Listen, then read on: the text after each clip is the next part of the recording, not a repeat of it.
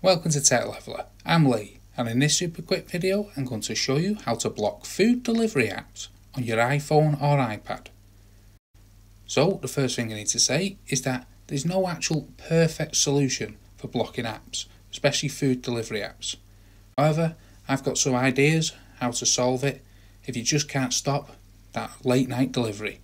So the first thing you want to do is head into your settings, then come down and select screen time then in screen time, you want app limits. And then you want to select add limit. Then you want to find the app that you want to ban. So let's just say it's all shopping and food apps.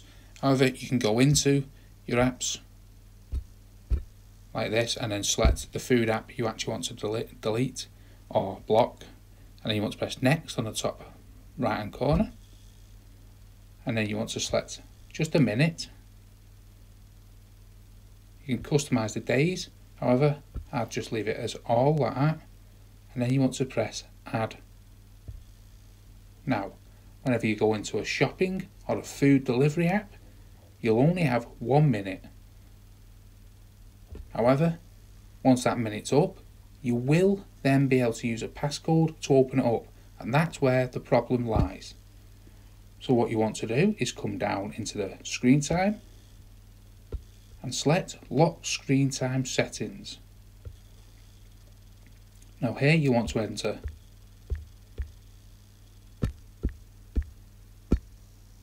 your iPhone passcode and you want to set a new screen time passcode and what you could do here is ask a friend or a family member to make the code for you so you don't know it.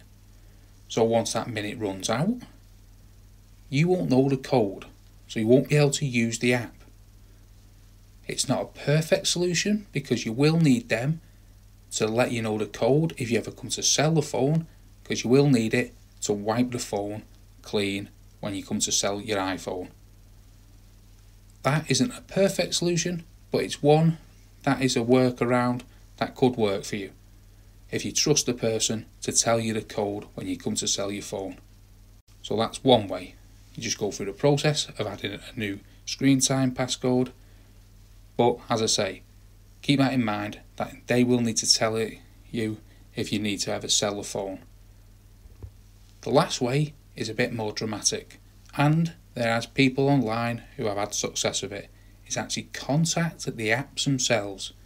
So let's say Just Eat for instance, go and find the contact information. So if you look online, Just Eat contact for instance, it should give you a phone number to ring if you're not confident about ringing them up. You could find an email address and then you could explain that you are having trouble ordering late night takeaways and you want it banned. However, there's no option to do it on the iPhone, so you'd like them to ban your email. Then that's the other solution. And there's many people online who have had success doing it. So that's two ways of how to block food delivery apps on your iPhone. Hope you found that video helpful. If you did, smash the like, smash the subscribe, and most of all, thanks so much for watching.